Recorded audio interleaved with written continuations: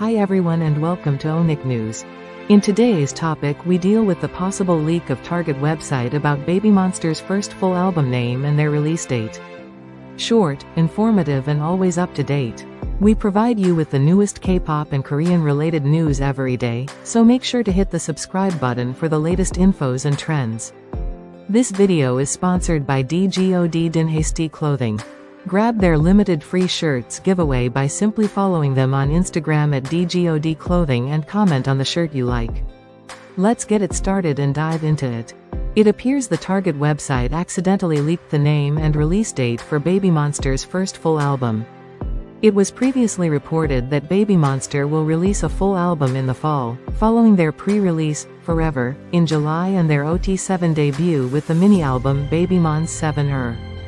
The Target website revealed that the album is titled, Drip, according to the product information, and the release date is set for November 1, 2024, which is the physical release date. It is unknown whether the digital release date will be the same day or a different date. After fans sent in emails to Target, the online store has removed the product from their website.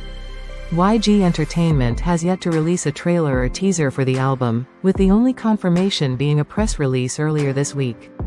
What do you think about these news? Please let us know in the comments. This video was sponsored by DGOD Dinhasty Clothing. Don't forget to grab your limited free shirt by following them on Instagram at DGOD Clothing. Subscribe and turn on notifications for your daily doses of the latest K-pop and Korean related news. Thanks for watching and have a great day.